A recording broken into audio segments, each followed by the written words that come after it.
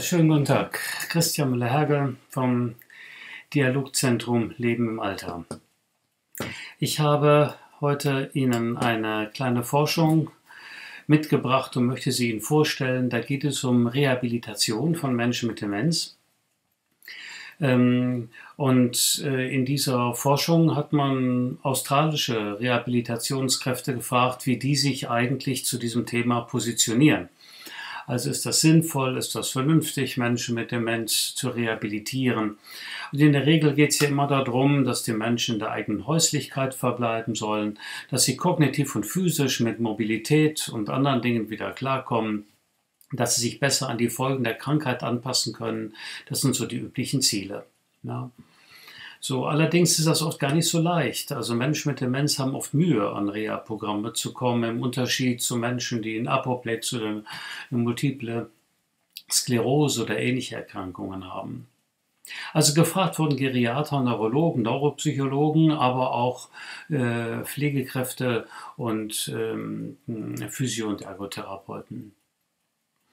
Die haben so ein paar Sachen rausgefunden, die ganz spannend sind. Also einmal sagen die, ja, also Reha hat nur dann Sinn, wenn man ganz klare, erreichbare und quantifizierbare Ziele hat.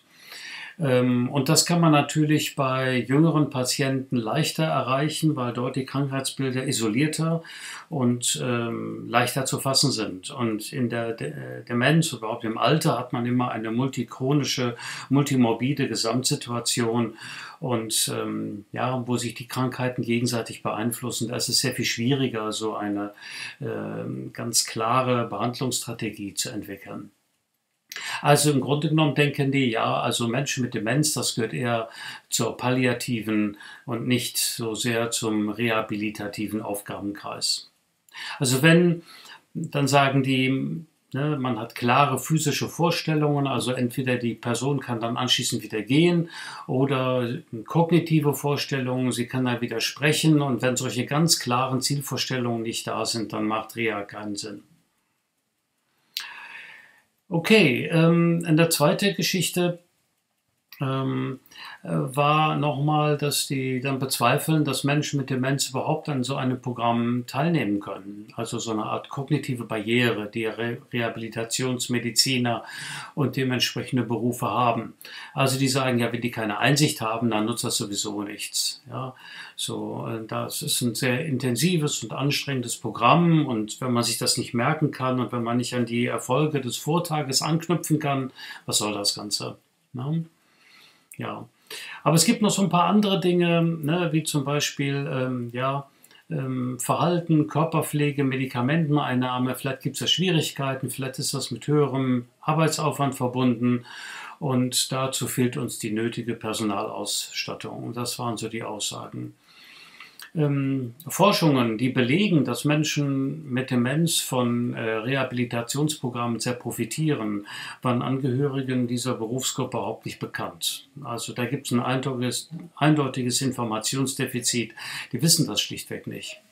Also dass das funktioniert und dass es sinnvoll ist und dass man Menschen damit stabilisieren kann. Also zusammenfassend, Professionelle sehen eigentlich Menschen mit Demenz nicht zu ihrem Arbeitsbereich gehörig und geben dem eine relativ geringe Priorität. Ja. Man vermutet, dass ähm, Menschen, die in so einen Rehabilitationsbereich gehen, natürlich auch eine bestimmte Motivation haben. Also, dass sie hier messbare, schnelle Erfolge erzielen können. Und das ist ein Stück weit inkompatibel mit dem impliziten Berufsbild. Ja, also Multichronizität und Multimorbidität und dann auch Demenz obendrauf. Das passt einfach nicht zu den verinnerlichten Vorstellungen, die Menschen in dem Bereich haben. Interessant ist noch eine weitere Studie, ähm, die ich in dem Zusammenhang Ihnen noch vorstellen möchte.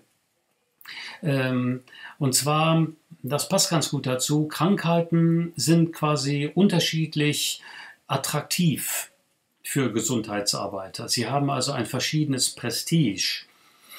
Das höchste Prestige haben Erkrankungen, die potenziell tödlich sind und akut. Zweitens, die mit einem riskanten Einsatz von Hochtechnologie verbunden sind. Und drittens, die man bei vergleichsweise eher jüngeren Patienten anwendet. also Leukämie, Hirntumoren, Herzinfarkt, ja, die äh, sind eher attraktiv und Dinge wie Angsterkrankung, Depressionen oder Anorexia, äh, letztlich eben auch Demenz, die sind eher unattraktiv. Man könnte also sagen, die Pflege und die Versorgung psychisch kranker alter Menschen ist für Ärzte, aber auch für Pflegende, das ist das Spannende, vergleichsweise mit niedrigem Prestige verbunden. Also wenn man will, mit einem Art Karriereknick oder mit einem Defizit in der eigenen Karriereentwicklung. Also wenn man was werden will, dann kümmert sich man nicht um alte, demente Menschen. Hm? Also alles, was mit Cure verbunden ist, objektiv, kritisch, behandelbar, das ist attraktiv. Was mit Pflege verbunden ist, wo ich also eher palliative Ziele habe, ist vergleichsweise eher unattraktiv. Und spannend ist hierbei, dass Pflegende dafür keine eigene Perspektive entwickelt haben. Also Pflegende hängen weitgehend am Urteil der Mediziner, die so denken und haben dort wohl zumindest in dieser Studie keine eigene Sichtweise auf dieses Feld entwickelt. Okay, ähm, ja, ich finde das ganz spannend, sich mal mit diesem Feld Demenz und Rehabilitation auseinanderzusetzen. Und zwar nicht so aus der Perspektive, ob das wirklich sinnvoll ist, sondern ob diejenigen, die in diesen Berufen tätig sind, dem eine sinnvolle Perspektive abgewinnen können. Und wenn die das nicht können, dann ist natürlich der Zugang für alte Menschen und Menschen mit Demenz extrem erschwert. Gut, danke für Ihr Zuhören, Euer Interesse. Schauen Sie mal auf unserem Blog, da gibt es immer mal wieder interessante Nachrichten, auch jetzt im Juli. Ähm, bis dahin, ich grüße Sie ganz herzlich und wünsche Ihnen eine gute Zeit.